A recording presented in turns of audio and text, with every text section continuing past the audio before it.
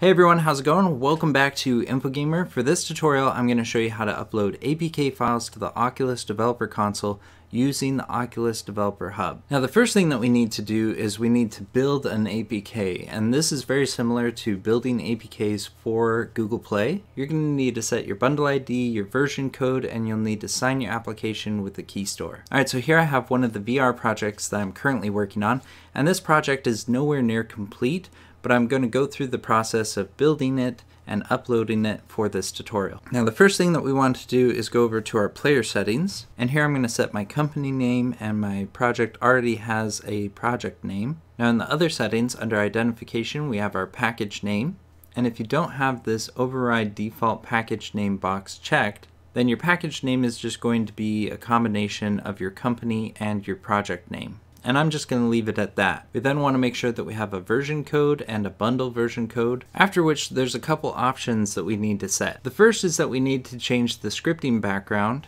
from mono to IL2CPP. We'll then want to uncheck ARM v7 and check ARM64. The last option that we need to change is the install location, and we want to set this to automatic. After this, we can go to our publishing settings, and here we'll need to sign our project with the key store. Now, if you don't know how to do this, there's actually several tutorials already out there on how to create key stores and how to sign your application. And so I'm just going to run through this real quick. Once we're done changing these player settings and signing our application, we can now build our project. So you'll want to make sure that you have a scene selected in your build order and then we'll just click build. After your APK is built, you'll want to open the Oculus Developer Hub. If you don't have this already installed, you can just search for Oculus Developer Hub and there should be a download option for it. Once you've finished downloading, you just need to sign in to your developer account. And then under app distribution, you should be able to see a list of all your apps that you've created in the developer console. Now since my project isn't anywhere complete and I'm just demonstrating how to upload APKs, I'm going to upload my APK to the alpha channel.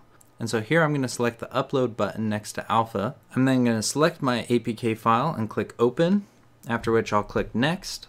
Here you can add a release note for any changes that you might have made since your last update, and then we'll click next, and finally we'll click upload. Now this process should only take a few minutes, of course it depends on the size of your upload, but once it's complete you might need to wait a few minutes and then refresh your Oculus Developer Hub which will then show your upload with the current build code. We can also go over to the Oculus Developer Console and in here we'll be able to see the build as well. Now that's everything that we're going to cover on how to upload an APK through the Oculus Developer Hub. If you have any questions, make sure that you leave them in the comments below. Also make sure that you like this video and subscribe to our channel so you can be up to date with all our latest videos.